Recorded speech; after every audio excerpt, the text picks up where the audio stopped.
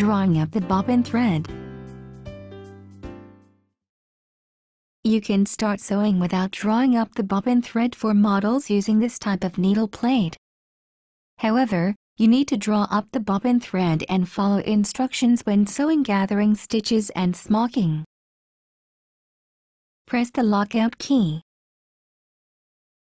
Raise the foot.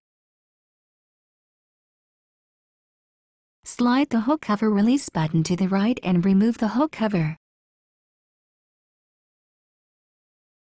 Take out the bobbin. Place the bobbin in the bobbin holder with the thread running off counterclockwise.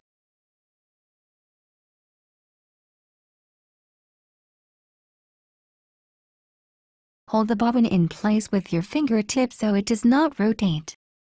Guide the thread into the front notch of the bobbin holder. Pass the thread under the guide and pull it to the left. Pass the thread into the guide path marked 1. Make sure that the thread comes out from the side notch of the bobbin holder. Leave a 10 cm or 4 inch tail of bobbin thread. Insert the hook cover plate. Press the lockout key to unlock the machine. Hold the needle thread lightly with your left hand. Press the needle up-down button twice to lower and raise the needle.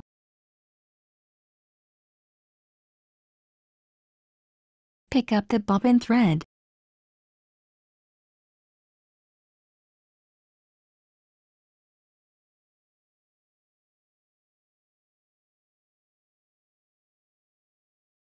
Pull both threads 10 centimeters or 4 inches under and behind the presser foot.